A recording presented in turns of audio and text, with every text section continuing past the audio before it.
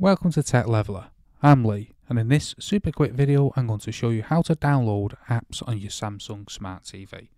So first things first, let's press our home button to bring us to the Smart Hub and then you'll see all your apps here.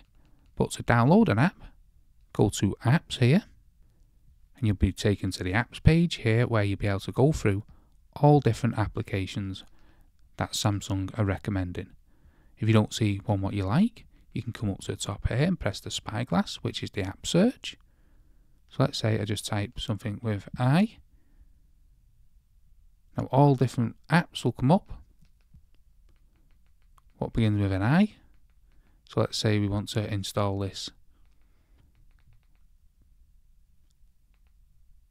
I showcase here, whatever this is, TV, let's let's press that. Then press install. Now it's usually a couple of minutes to install, depending on your internet speed, but that's already done. So it's on and you'll get this pop up here to open it. But first, I'll close it because I'll show you something first. So I'll go back to the home page because this will be important in a moment. You want to press the home button. And if you try and find the app here, it will not be there. As you can see, it's not there, what we've just installed. So if you want to add it to your home screen, we can press apps, come up to the top, and you want this cog here, which is the settings. Go into that, and you'll see it here. And what you want to do then is press add to home. There you go. Then you can move it to where you want. So let's say here.